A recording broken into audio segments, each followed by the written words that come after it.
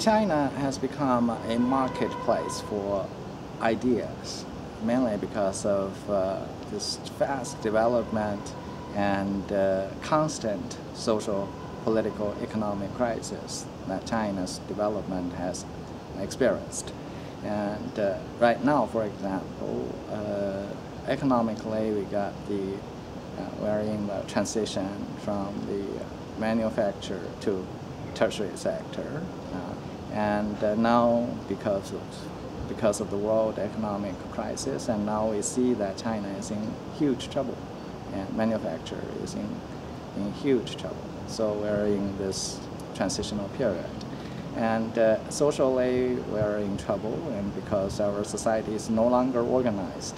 And it seems that Chinese government is dealing with hundreds of millions of individuals and uh, trying to appeal to the government about their supposedly injustice they suffered.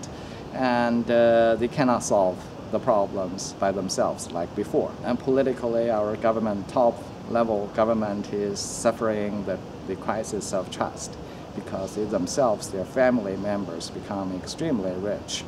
And uh, so their, their, their, their meritocracy or their fairness or their sacrifice, spirit of sacrifice, whatever they advocate, uh, is under challenge.